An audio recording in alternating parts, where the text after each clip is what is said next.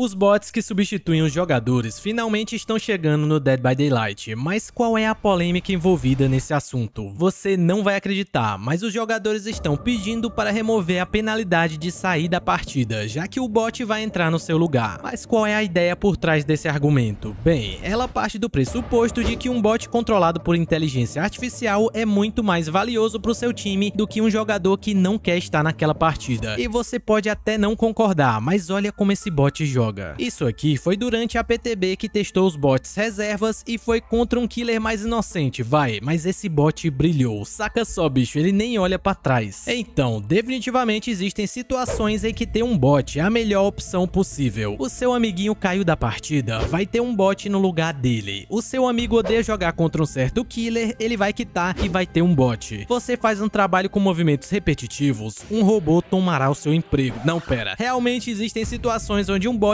é bem útil. Imagina aí que o killer te deixa no chão pra morrer. Se eu não me engano, demoram 4 minutos para você sangrar até a morte. E nesse caso, não ter penalidade pra quitar seria ótimo. E caso você caia numa daquelas partidas com o killer que tá fazendo os geradores demorarem meia hora para serem terminados e você não tem tempo para isso, pois vai precisar dar ração pro seu bichano, pois ele já tá doido batendo na tigelinha dele, seria ótimo quitar e não ser punido. Existem situações onde a melhor escolha é sair da partida, e com toda certeza é melhor jogar com jogadores jogadores que realmente querem jogar. Até porque mesmo com a penalidade, os jogadores vão simplesmente ir pra frente do killer, cair e se matar no gancho. O que com toda certeza pra você é melhor que esse cara kite e deixe um bot lá, do que ele se mate no gancho e acabe a brincadeira de todo mundo. Até existe um argumento de que caso removida a punição, isso vai afetar diretamente na escolha de killers, pois caso você goste de jogar com um assassino que faz a partida ser muito arrastada, isso vai provavelmente causar mais jogadores quitarem, obrigando o killer a jogar apenas contra bots, o que não é nada legal e o pessoal do mobile já tá ligado há tempos. E com o passar do tempo, menos e menos jogadores vão jogar com esse tipo de killer que a comunidade acha chatão. E Chablauzinho, eu vi um tweet que dizia, os jogadores de cavaleiro merecem jogar apenas contra bots, já que eles gostam tanto assim de IA. E eu ri, me perdoem Nightmares. Remover a penalidade iria, em tese, resolver o problema dos jogadores que se matam no gancho, pois poderiam só quitar e deixar um bot, como também iriam ajudar em situações que o outro outro lado está te forçando a ficar na partida. Além do que, com o passar do tempo, isso vai desincentivar o uso de certos killers, ou ao menos gameplays arrastadas. Então, remover a punição é a solução, certo? Não tão rápido, Chablauzinho, existe um porém. Se os jogadores se matam no gancho ou eles quitam do jogo frequentemente, isso é um problema do jogador ou do jogo. Tá certo que existem pessoas meio mimadas que vão abandonar as partidas pelos motivos mais banais possíveis. Mas quando quase toda partida tem alguém quitando, eu chego a me perguntar, será que que isso não é um pouquinho de culpa do jogo também? Em qual momento deixa de ser culpa do jogador e vira culpa do jogo por ter várias formas de arruinar sua experiência? Ou melhor, será que não existe uma epidemia de burnout, de jogadores que estão enjoados do DBD, mas simplesmente não conseguem parar de jogar? Será que pelo jogo ter 7 anos e não ter mudado nada, isso não afeta na paciência que os jogadores têm para a mesma situação que se repete em quase todas as partidas? São muitas perguntas que a gente tem que considerar. E chega a um ponto em que os jogadores pedem uma punição maior, pois todo mundo tá quitando por qualquer coisa, tem algo errado aí. Você ter que obrigar um jogador a jogar um game não é um bom sinal. Os players estão aparentemente deteriorando. Os caras querem jogar o jogo, eles entram alegres, mas algo tira o brilho deles e os faz quitar. Mas aí eu preciso ser advogado do diabo. O jogo é cheio de problemas sim. Porém, corre o risco de você remover a penalidade e os jogadores que já quitavam para tudo quitarem ainda mais. Por qualquer motivo pequeno que for, porque o núcleo do problema não foi consertado